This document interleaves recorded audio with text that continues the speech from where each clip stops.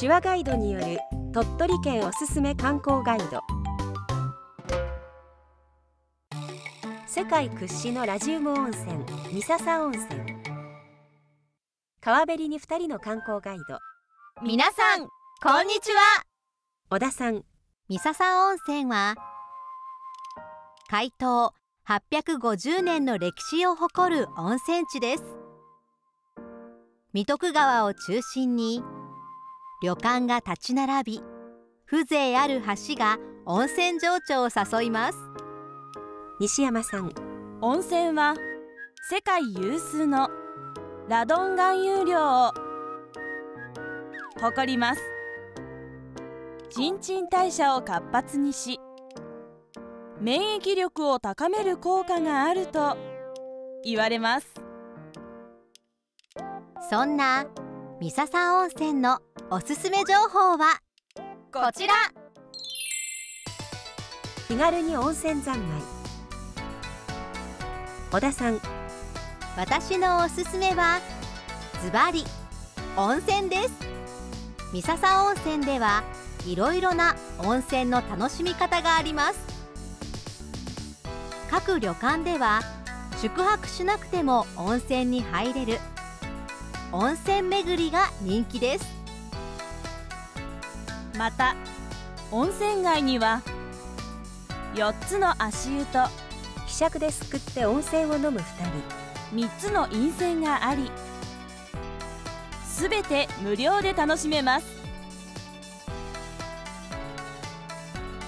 人薬師の湯の足湯に入る。暖かくて気持ちいいですね。そうですね気軽に温泉気分になれますね。三笹温泉で忘れてならないのが河原露天風呂です。三徳川のほとりにある露天風呂で川を眺めながら入浴できます。ご覧のようにとても開放的な温泉です。入浴する男性この開放感が人気で入浴客がひっきりなしにやってきます。しかも男女混浴でなんとこちらも無料です。露天風呂に近づく2人。お湯加減はいかがですか？暖かくていいですよ。私たちも一緒に入りましょうか。また後でね昭和へタイムスリップ。浴衣姿の西山さん。私のおすすめは娯楽場です。三笹温泉では昔懐かしいレトロ感たっぷりの娯楽場があります。スマートボールに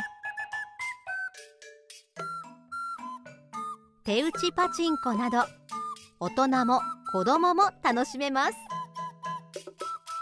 温泉街といえばやっぱりこれ。射的に挑戦狙いを定めて鉄砲を構える2人。今は見かけることが少なくなったアナログゲームですけどやってみるとつい夢中になりますね。的の人形に当てる。きっと温泉街でやるから楽しいんでしょうね。街灯の灯る温泉街。いかがですか？温泉情緒あふれる。三笹温泉。これはおすすめ情報のほんの一部です。あとは皆さんが来てみて体験してください。バイバーイ。企画鳥取県。協力鳥取県聴覚障害者協会イラストレーションクララ。撮影サインビデオシステム。